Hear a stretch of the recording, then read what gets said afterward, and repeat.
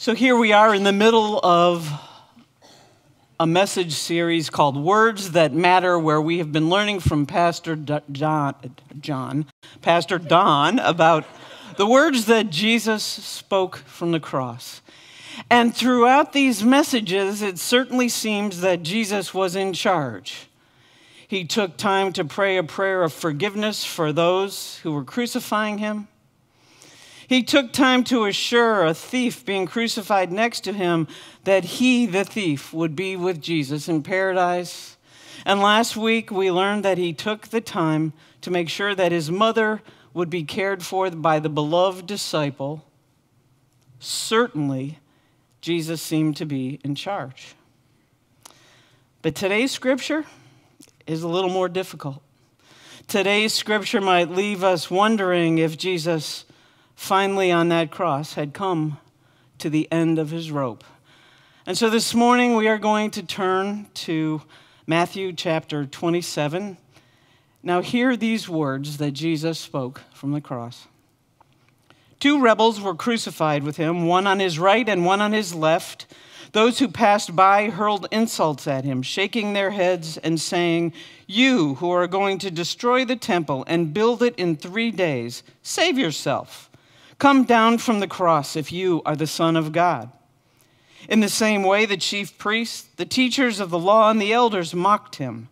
He saved others, they said, but he can't save himself. He's the King of Israel. Let him come down now from the cross, and we will believe in him. He trusts in God. Let God rescue him now if he wants him. For he said, I am the Son of God. In the same way, the rebels who were crucified with him also heaped insults on him. From noon until three in the afternoon, darkness came over all the land. About three in the afternoon, Jesus cried out in a loud voice, Eli, Eli, lema sabachthani, which means, My God, my God, why have you forsaken me? The word of God for the people of God. Thanks be to God. What a difference six weeks make. Sammy just read us the scripture about Transfiguration Sunday, which was when I was originally going to deliver this message, and COVID intervened. So I asked that the scripture be read today anyhow, because of the contrast, because of the difference between that day when Jesus climbed on the mountain with three of his disciples. His appearance was transfigured. His face shone like the sun. His clothes were as bright as light. Elijah and Moses appeared, and they heard the voice of God say, This is my dearly loved Son who brings me great joy. Listen to him. God the Father pouring out words of love upon his dear Son. But now, almost six weeks have passed. Jesus isn't on the top of the mountain, he's hanging on a cross. And that dearly loved son, his face is no longer shining like a bright light, it's dripping with blood from a crown of thorns. What a difference one week makes. Just a week before, Jesus entered Jerusalem on the back of a donkey with the people waving palm fronds and shouting, Hosanna in the highest, blessed is he who comes in the name of the Lord. It's only a week later, but the people have shouted, Crucify him. And now Jesus leaves Jerusalem, walking the Via Dolorosa, dragging a heavy cross upon which he'd be crucified. Nothing Jesus said on the cross has troubled me more than the words, My God, my God, why have you forsaken me? His anguish is unmistakable. His pain is heartbreaking. The injustice of it all is outrageous. His sense of abandonment should break our hearts into a million pieces. What used to really unsettle me, though, was that perfect Jesus questioned God. Did it make him less than perfect? Did that question make him a sinner? Had God really forsaken him? Was God just kidding when he said, This is my dearly loved son? You know, they say it's good for us to wrestle with this scripture and other scriptures, but this wrestling match has been too hard. And it's not helped one little bit by how some people have interpreted this scripture. First, we have the Gnostics.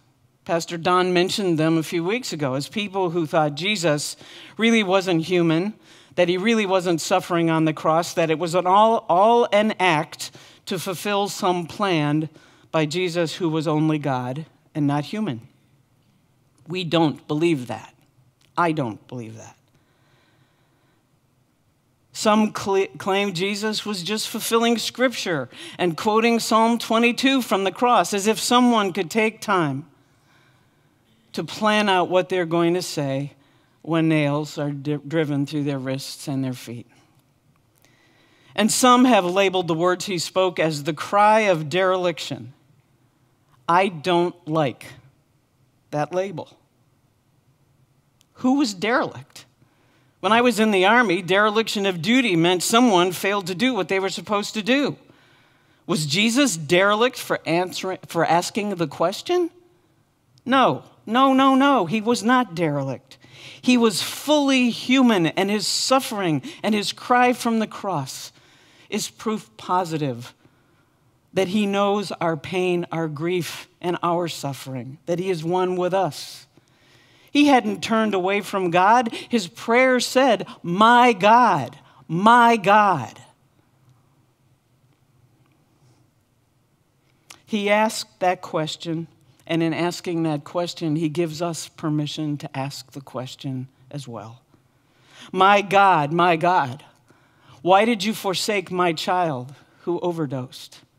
My God, my God, why did you forsake my mother when the drunk driver hit her as she was crossing the street? My God, my God, where were you when Hurricane Ian destroyed my home? My God, my God, where were you in Turkey and Syria as an earthquake devastated so much of those countries? My God, my God, why did you forsake me as I took chemo that didn't work? My God, my God, why did you let him suffer a fatal stroke? Jesus asked the question in the form of a prayer, and we can too. We may not get the answer that we want, and sometimes we don't. But what we can be sure of is that God is present. Emmanuel, God with us, is not only at Christmas time, but Emmanuel, God is with us in our darkest hours. God cares for and weeps with us, even when we don't get the answers that we want.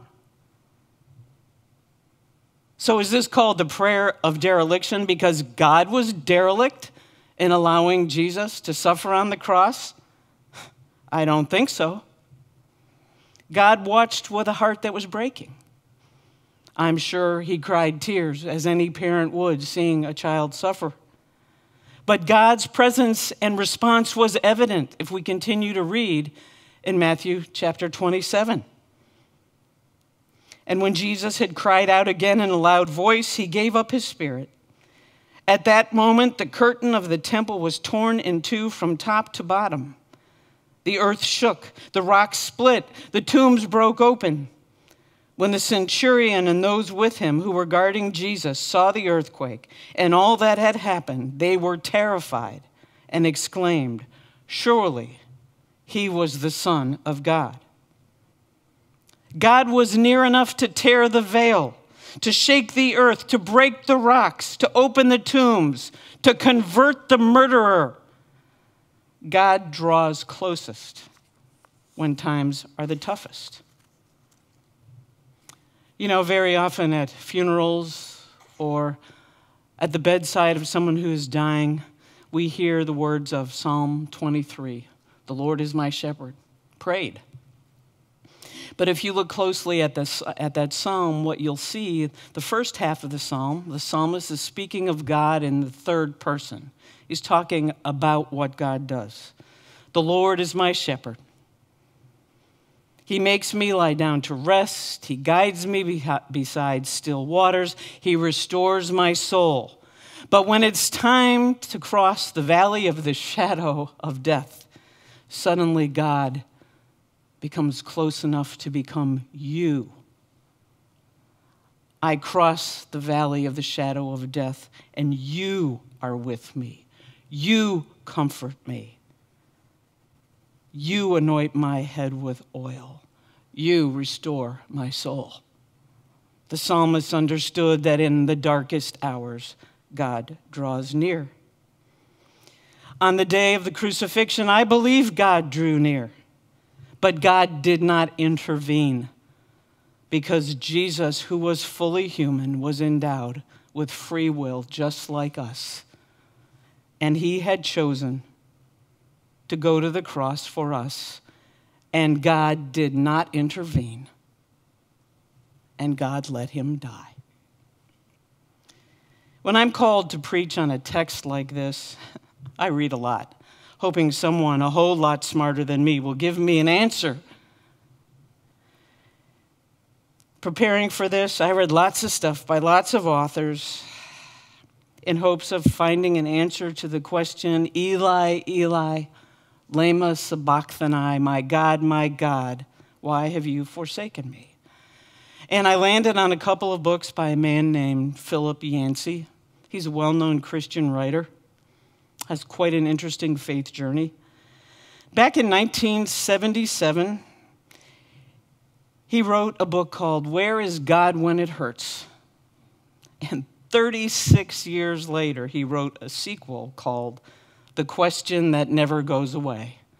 For 36 years, Philip Yancey struggled with a question that seems to have no satisfying answer.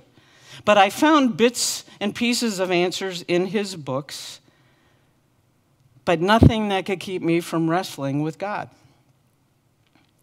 Yancey offers an explanation that was actually offered originally by an Anglican priest named Samuel Wells very well educated pastor, the dean of the chapel for a season at Duke Divinity School. But uh, his answer unsettled me. He answered this question by suggesting that for an instant the Trinity was broken. I don't believe that. I don't believe the Trinity is ever broken. He suggested that the Son had to choose between being one with us or being one with the Father and that the Father had to choose to either let the Son be with us or to keep the Son to himself. I don't believe the Trinity is ever broken. And I don't believe that Jesus had to choose us or the Father, or that the Father had to choose Jesus or us. I believe those were not either or choices, but both ands. Jesus chose to love us from the cross so that we could choose to love the Father. And the Father chose to allow Jesus to exercise the will and the choice that he had made to be one with us so that he, the waymaker, would provide a way home to the Father for us. The Father didn't intervene, not to ignore the Son, but to allow a way for us to find a path home to Him. It's hard concept to grasp. And the image that came to my mind was a story that I recalled, actually, a scene I recalled on television from the Olympics one year. It was after the Winter Olympics were over, all of the medals had been given out, and on the day of the closing ceremony at the ice skating arena, there was a wonderful exhibition skating. No medals were being awarded, no scores were being given, but all the medalists were invited to this exhibition, which began with a pair of ice dancers. not figure skating pairs, but the ice dancers. And I never really enjoyed ice dancing because they don't do all those big throws and twirls because the two ice dancers are never allowed to lose touch with each other. They dance and they have to remain in contact. But lo and behold, in the middle of this exhibition, these two ice dancers separated. And when they separated, the gold medalists who had won pairs figure skating joined them. And then a few minutes later, the singles skaters joined them. And before you knew it, all of the medalists were out on the ice, and they all joined hands like an ice skating conga line and were dancing around the ice. So imagine, if you will, that God, Father, Son, and Holy Spirit start out in a dance together hands joined. And then, in one moment in time, they release their hands to allow us to join the dance. The Trinity was not broken, but the circle was widened so that we could join in. Leading into this message today, you sang the hymn Lord of the Dance. There were happy there was a happy verse you know, I danced in the morning when the world was begun, and I danced in the moon and the stars and the sun. And I danced, and James and John followed me, and I danced. But we didn't sing the fourth and fifth verses, and the fourth verse reads like this I danced on a Friday, and the sky turned black. It's hard to dance with the devil on your back. They buried my body and they thought I'd gone, but I am the dance and I still go on. And then the fifth verse nails it. They cut me down and I leaped up high. I am the life that'll never ever die. I live in you if you live in me. I am the Lord of the dance, said he. That is why the Father allowed the Son to make his choice, and the Son made the choice he did so that we could join in the dance. In your moments of anguish, you can cry out, My God, my God, why have you forsaken me? But don't ever let that be your last word. Instead, remember the dance. Father, Son, and Spirit letting loose hold on each other's hands, not to be separated or to break apart the Trinity but to invite us into the circle, to invite us to join in, and to hear Jesus saying, Dance then wherever, wherever you may be. I am the Lord of the dance, and I'll lead you wherever you may be. Twice he says, wherever you may be. He'll take you when you're down and out. He'll take you when you feel forsaken. He'll take you when you're joyful.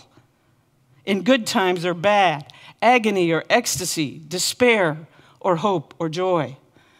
We are invited to join in a community that's united in Christ. And, but occasionally, you know, we're like the onlookers that I read about in the scripture at the foot of the cross. Occasionally, one of us will shout out, Surely he was the Son of God. Amen? But sometimes we sin and we become the mockers somehow piling on when we see another who's suffering. Or worse, we stand by silently as others exclude and mock, implying that we agree with our silence. And at other sacred moments, we're called to be the face of God for one who cries out, My God, my God, why have you forsaken me? as we offered love and comfort Remember this, friends God will never abandon you, God will never forsake you. We dance with a God who always loves and never forsakes. I do not believe that God forsook Jesus. God allowed Jesus to choose us so that we might choose God. Jesus made the painful choice to redeem us so that we could become one with each other and one with God. We have been invited to the dance wherever we may be, but we have choices to make. We can be the wallflower who stays on the sideline like at the seventh grade dance, or we can join in the dance. As for me, I have joined the dance. And many of you have joined the dance as well, but I ask you this Will you open your hands? We sometimes hold each other too tightly and keep others out. Will you open your hands to let in the vulnerable, the excluded, the judged, the outcast? Will you invite them into the dance? I hope your answer is yes. And that, my friends, is where this message is supposed to end. But I have one more thing that I need to say that just came to me um, actually this morning. It's, it's not on the manuscript. I started this pointing out all the things that Jesus said from the cross that made it seem like Jesus was fully in charge. And then I suggested to you that when he cried out this cry, My God, my God, why had you forsaken me? that Jesus was no longer in charge. I think I was mistaken. Jesus knew it was okay to turn to the Father in times of despair. He was in charge of his own cry. He was in charge of providing a way for us. He was charged. He was in charge all the way. Wouldn't you agree? Amen.